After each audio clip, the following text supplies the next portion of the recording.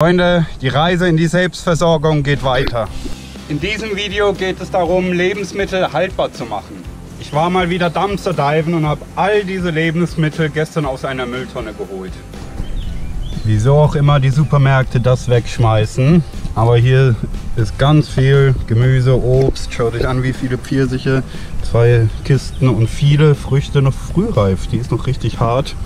Und ja, ein Haufenweise Gemüse, das es jetzt gilt einzulegen. Und für all meine neuen Zuschauer, damit ihr versteht, um was es geht, ich habe mir vor fast zwei Jahren drei Hektar Land gekauft und strebe an, ein autarkes Leben aufzubauen. Das heißt, ich will mich selbst versorgen und habe eine lange Reise vor mir mit einem sehr, sehr kleinen Budget, das jetzt schon komplett aufgebraucht ist.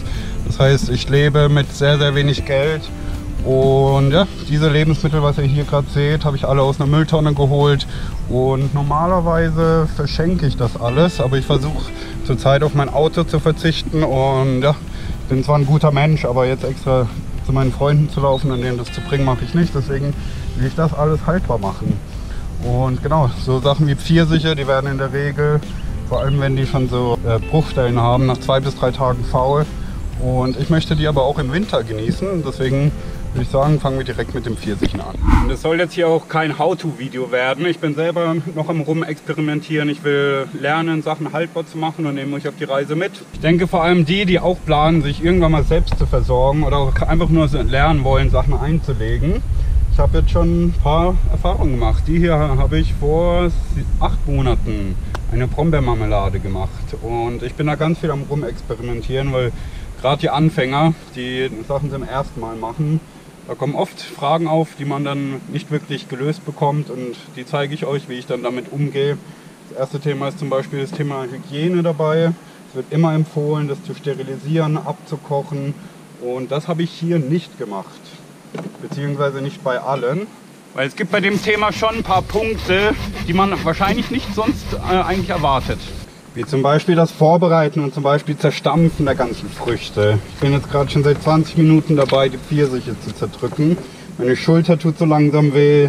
Und ja, ich bin froh, dass ich das Werkzeug gekauft habe. Ich bin ganz oft ganz spontan faul und mache das dann nicht so, wie es empfohlen wird. Wie zum Beispiel die Pfirsiche nicht zum Ende zu zerstampfen. Das habe ich schon mal gemacht, weil wenn man die sowieso kocht, sind sie, werden sie weich und sind dann viel einfach zu zerstampfen.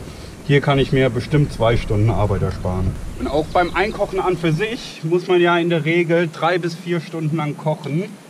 Gibt es auch einiges zu beachten. Weil wer sich selbst versorgen will, muss gucken, dass er auch mit dem Holz sparsam ist. Und da bin ich selbst mal gespannt, wie viel Holz ich hier jetzt brauche. Ich will jetzt hier zum einen mal äh, die eingelegten Pfirsiche ausprobieren. Da habe ich mir ein YouTube-Tutorial angeschaut. Ich habe hier in die vier Behälter jetzt einmal nur kochendes Wasser reingemacht, habe es zugemacht und jetzt eine Stunde stehen lassen. Ich will zwei von den Behältern lange lagern, ein halbes Jahr oder sowas. Und mit die eine mit Zucker und Zimt ausprobieren und die andere einfach nur Wasser. Wirklich nur so Pfirsiche. Ich will das hier also nur pasteurisieren. Pasteurisieren ist an für sich super, super simpel. Man stellt einfach so ein Glas in heißes Wasser, lässt es dort stehen. Dadurch entwickelt sich hier drin ein Vakuum, so ein Unterdruck. Und dadurch wird es haltbar gemacht. Das ist Pasteurisieren. So, ich habe beim Dumpster-Diven auch eine Packung Zucker gehabt und als Diabetiker esse ich eigentlich gar keinen Zucker. Aber ich will das ausprobieren, ich will den Vergleich haben mit oder ohne Zucker. Das heißt, ich mache jetzt einen Sirup und mache hier jetzt ordentlich Zucker. Ja, zwei Löffel sollten reichen und einen guten Schuss äh, Zimt. Und das lasse ich jetzt für 10 Minuten kochen. Und hier will ich dann mal einen Nektar machen. Dafür kippe ich jetzt erstmal hier das hier, hier dazu. Nektar soll ja trinkbar sein, das heißt flüssig. Nach Rezept muss ich jetzt nur noch hier das heiße Wasser reinkippen. Okay, hört ihr das? Echtes Problem. Die ist undicht, da geht Luft rein, das heißt, die kann ich nicht verwerten. Okay, dann esse ich die morgen. Weil hier muss ich jetzt ein Vakuum entwickeln. Für den Nektar bzw. die Marmelade aus den Fruchtfleischresten brauche ich eher mittlere bis niedrige Hitze und dafür aber drei Stunden kochen lassen, sodass das Wasser verdampft, aber die Süße drin bleibt. Das heißt, ich versuche jetzt meinen kleinen improvisierten Ofen zu benutzen.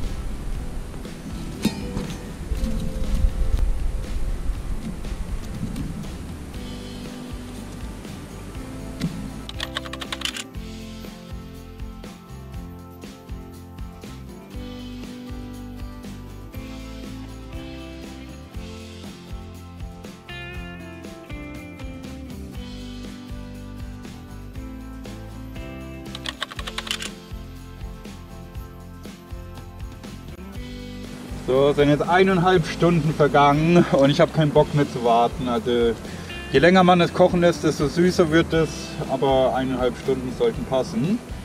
Und ich habe leider kein Sieb, um jetzt den Nektar abzusieben, weil ich will das ja zum Trinken haben wie ein Saft. Ich habe jetzt einfach hier das dreckige Tuch. Guck jetzt mal, was passiert, ob das so funktioniert. Aus dem Fruchtfleisch will ich dann Marmelade machen.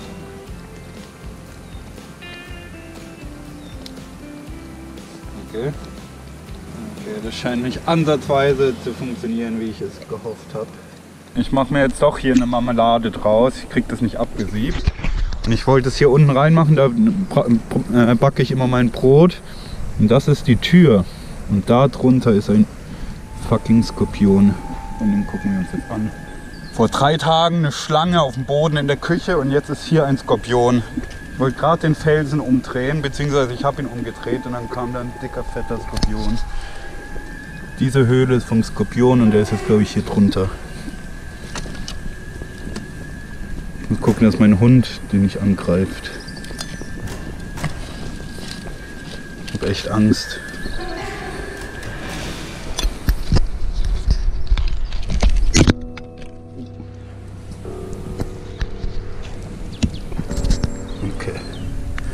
Gegessen wird. Nein, er ist weg. Das macht es noch schlimmer. Ihr müsst wissen, ich laufe immer barfuß. Deswegen ist es gerade schon richtig blöd.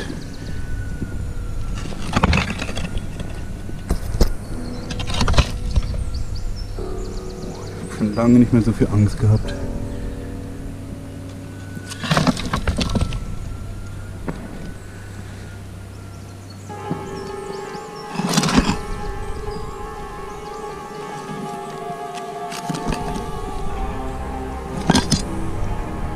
Da ist er. Oh, fast habe ich hingegriffen.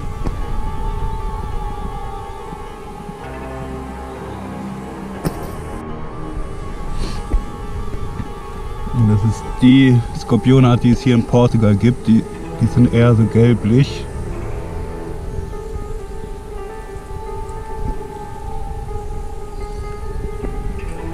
Und die sollen ungefähr so giftig wie eine Hornisse sein.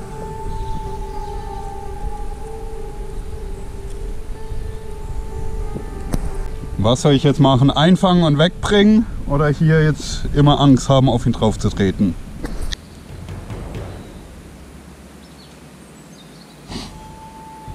Okay, ich muss ihn einfangen. Auf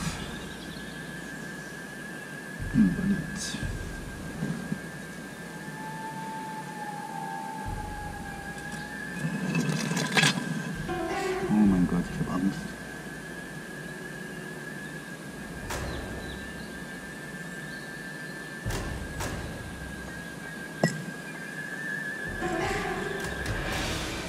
Hab ihn. Übelst geil. Ich habe bisher immer nur die Kinder unten gesehen, wie die welche gefunden haben. Und jetzt habe ich das erste Mal selber einen Skorpion gesehen. Jetzt nur überleben.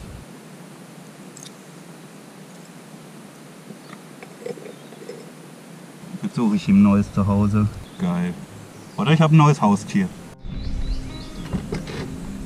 Ja, nächster Tag. Die Marmelade war jetzt über Nacht auf, dem, äh, auf der Platte über dem Feuer und jetzt ist es eine richtig geile Konsistenz. Also wenn man hier so rüber streicht, man sieht den Boden, dann ist es ein gutes Anzeichen. Und probieren wir mal, wie das schmeckt. Mmh. Oh mein Gott. Extrem süß, aber das ist ja Marmelade. Boah, geil. Richtig, richtig geil. Es geht voran, Leute, es geht voran. Wir haben 10 Uhr morgens, jetzt Tag Nummer 2. Die Lagerfeuerstelle ist in der knallen Sonne, aber ich gebe mir den Act und pasteurisiere dort jetzt. Jetzt habe ich schon mal viermal Marmelade und eingelegte Pfirsiche. Und jetzt kommt gleich ein Freund, der will was von dem Essen haben, dem gebe ich gerne was. Und dann gucken wir mal, was wir hier noch machen. Was ich jetzt auf jeden Fall mache, ist Kohl einlegen. Das habe ich selbst noch nie gemacht. Ich will das fermentieren. Und ich habe da schon ein paar Experimente gemacht in den letzten zwei, drei Jahren. Ich habe Essig mal selber hergestellt. Und heute will ich kochen. Heute koche ich Gläser. Nee, beim Einlegen, also so Kohl und so weiter, fermentieren, da äh, arbeitet man mit Bakterien. Und dort ist es dann besonders wichtig, dass man auch die richtigen Bakterien dort hat. Weil der Fermentierungsprozess funktioniert nur mit, ich glaube, Hefebakterien und anderen Bakterienstämmen. Deshalb koche ich die Gläser jetzt, dass sie steril sind. Stell da und ja, dann geht's weiter.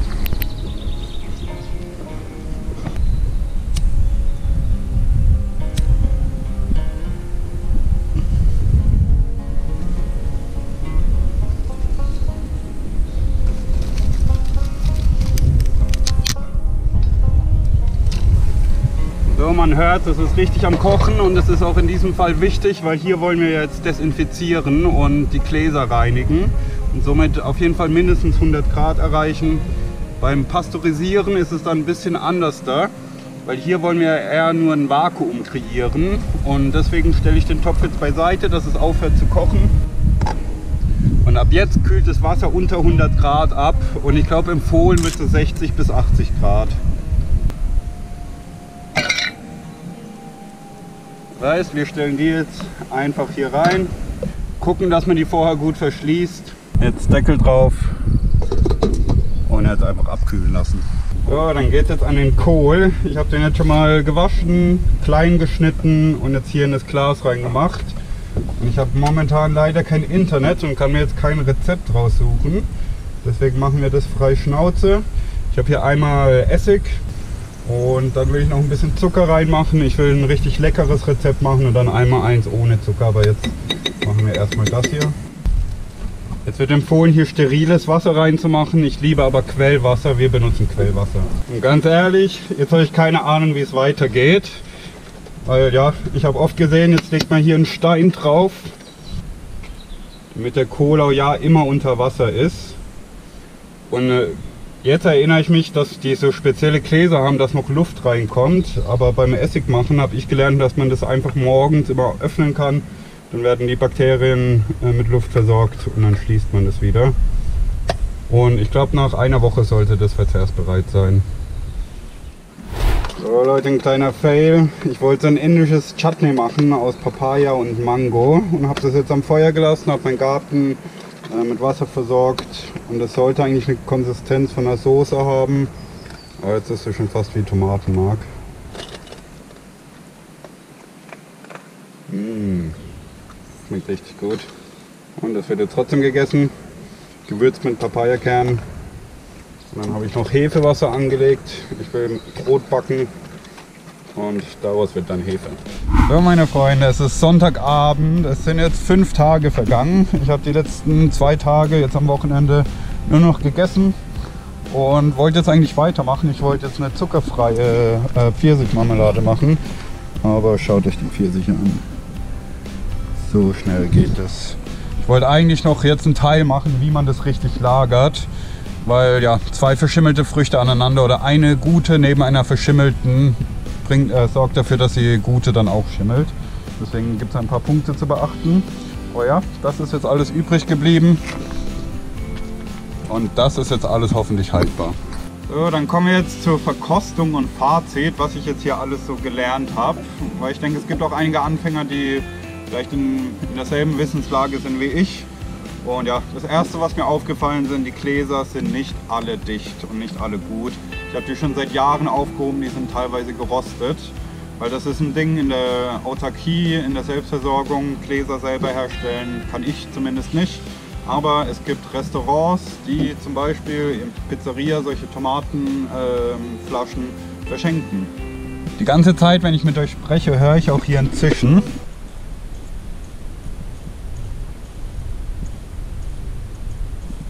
Ich hoffe, man hört es. Das heißt, die hier ist schon mal undicht. Und da weiß ich jetzt nicht ganz genau, wie sich das auf den Fermentierungsprozess auswirkt. Und die hier, das spürt man schon am Deckel. Da ist ein richtiger Druck drauf. Ja. Dann gehen wir jetzt mal die einzelnen Produkte durch und verkosten die. Fangen wir mit den eingelegten Pfirsichen an, die wahrscheinlich einfachste Art. Und ich bin gespannt, wie es funktioniert. Man sieht schon mal die Pfirsiche, die schwimmen oben. Und bei dem Glas sieht man, die haben definitiv Kontakt zur Luft, das heißt potenzielle Schimmelgefahr. Aha, ich schau mal fest zu, das ist gut. Boah, ist richtig fest zu. So. So sehen jetzt die obersten aus, die sind in der Regel immer die schlechtesten. Eine von unten. Jetzt erstmal die hier von unten. Riecht nach Pfirsich. Mmh. Ui, richtig intensiv nach Pfirsich. Bisschen säuerlich im Abgang. Ich hoffe, ich kriege davon jetzt keinen Durchfall.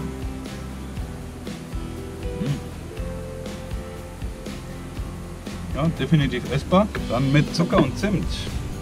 Und so sieht eine von unten aus.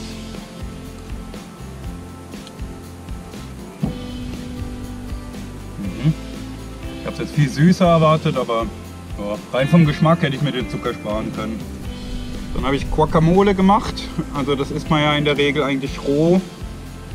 Und ich habe das hier jetzt auch die ganze Zeit gegessen. Aber ich sehe schon, das verfärbt sich so komisch. Ich habe es vorhin noch gegessen. Also jetzt noch vier Tagen ist es noch gut. Und die wollte ich haltbar machen und einfach nur pasteurisieren. Und dann ist mir das hier passiert. Eines der Gläser ist aufgegangen und jetzt schwimmt da alles drin. Und ich bin da super intuitiv rangegangen, weil ich keine Ahnung habe, wie man das haltbar macht. Ich dachte, ich äh, mache das jetzt hier rein, ähm, habe ordentlich aufgefüllt bis zum Rand. Aber schaut, was passiert ist. Jetzt quillt es da raus. Ich gebe jetzt mal dem Glas die Schuld und ja, ich bin ziemlich sicher, dass das bald schlecht wird. Dann kommen wir zum Kohl bzw. Sauerkraut und riecht nach Kombucha.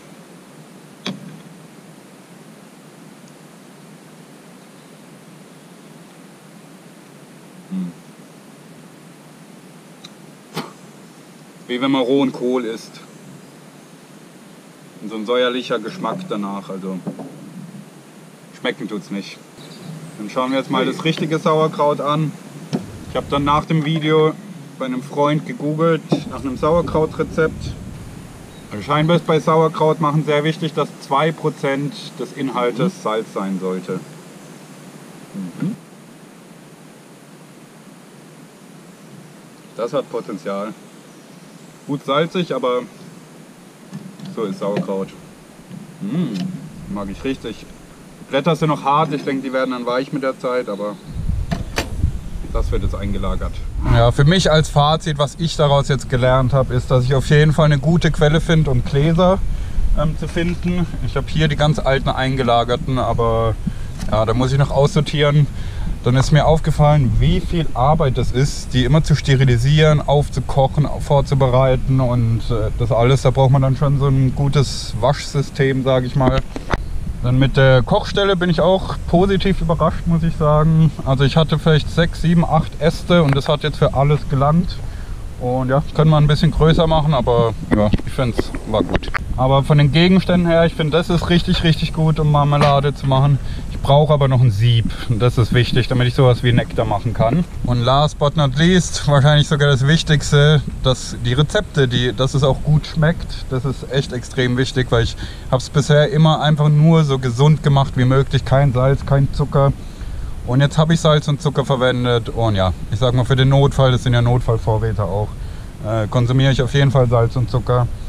Und ja, ich würde mich aber nicht zu früh freuen, weil ob das jetzt wirklich alles funktioniert hat, sehe ich erst in zwei, drei, vier Wochen, in zwei, drei, vier Monaten, in einem Jahr. Mal gucken, wann ich das dann alles konsumiert.